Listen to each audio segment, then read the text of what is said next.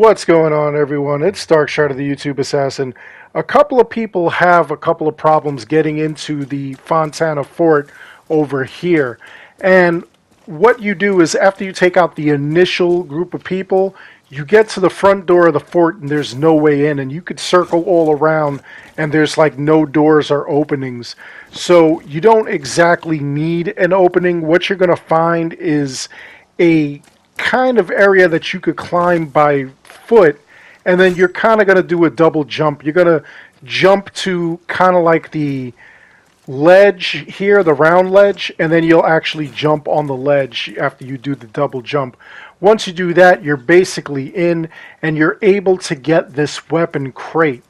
So once you do that, the problem now is that you are unable to get to the main part where the cannon actually is, and that's obviously what you got to take out. So what you're going to do is jump here and kind of do the same thing. You're going to double jump on that what I just showed you there.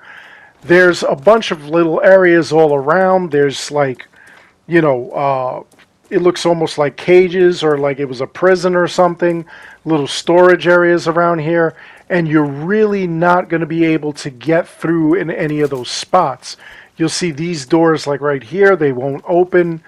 You know this will be open but there's no other way through. It just holds a bunch of stuff and you're going to find that all around. And then you're also going to find doors you can't get into and it's kind of weird that they even have like the cannons here those auto cannons that you could get onto. Uh, it kind of serves no purpose. There was no enemies down here which was really weird See, you could even try shooting at it, nothing happens.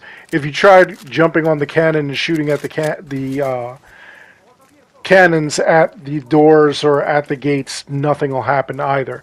Like I said, what you're going to have to do is come around this way. And uh, again, there's nothing down there. You're going to have to go do that double jump. I'm going to show you again in a moment. I just wanted to like explore everything around here. This is kind of like a back door. I know a couple of people thought that maybe they could get in through here.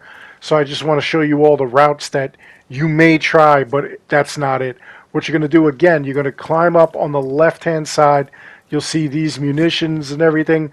And you're going to double jump here the same way you did it. And there you go. You're able to reach the cannon now. So that's it for this video. Short and sweet. Let me know in the comments below if you have any other problems getting into anywhere or any other problems with anything else with Far Cry 6.